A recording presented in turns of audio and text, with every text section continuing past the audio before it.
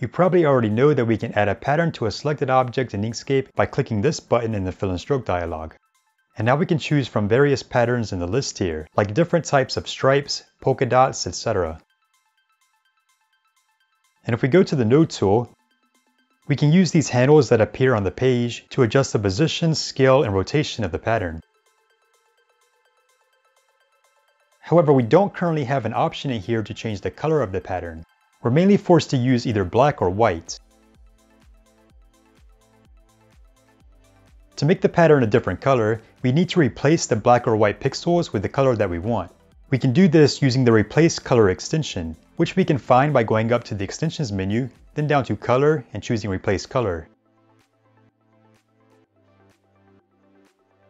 In the Replace Color dialog that pops up, we have two tabs, Color to Replace and New Color. In the Color to Replace tab, we of course choose which color in the selected object that we want to replace. I want to replace the black pixels in this pattern, and by default the color here is already set to black, so I don't need to change anything. Next in the New Color tab is where we choose which color to replace the pixels with. Before we do this, we can check Live Preview down here to see the result straight away, then we can adjust the sliders until we have the color that we want. When we're finished, we can apply the result by clicking the Apply button down here, then we can close out of the dialog. And we can still adjust the pattern using the Node tool.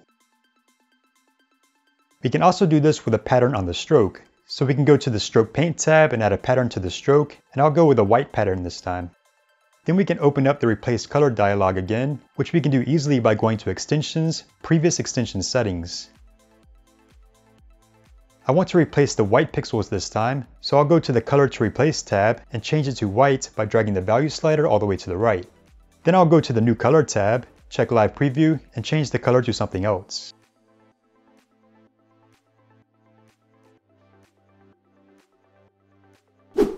If you've been following the development of Inkscape version 1.3, you likely know that it will include a new pattern editor in the fill and stroke dialog, which will give us complete control over the appearance of an object's pattern, including the color.